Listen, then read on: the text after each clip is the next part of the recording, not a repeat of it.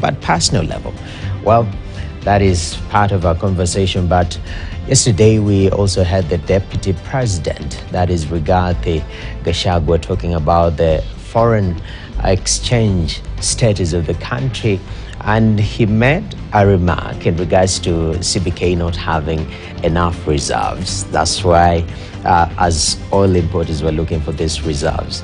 And we had a rebuttal from the Central Bank of Kenya around midnight saying we don't deal with uh, oil importers, we deal with matters government alone. So this back and forth, it's, it's brought up a conversation about our understanding about foreign reserve and the impact of and the status too of our foreign reserve, and we will be exploring that on our show today. Well, tighten your seatbelt, we're about to take off.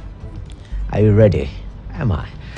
Well, I am. We start with matter CBK, where the central bank uh, has come out to calm the markets after Deputy President Rigathi Gachagua disclosed that Kenya's foreign reserves were not sufficient and thus causing a dollar shortage in the country.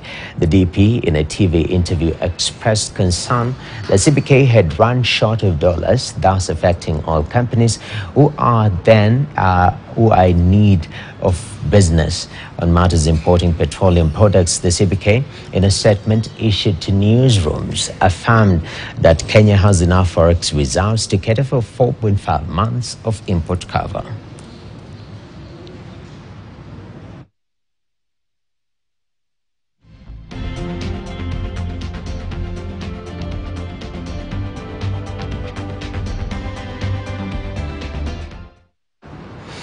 All right, now we want to cross over to the land where the head of state watches Chivumbi. Talk about Uganda. Uganda is lobbying for increased efforts to make doing business within the East African community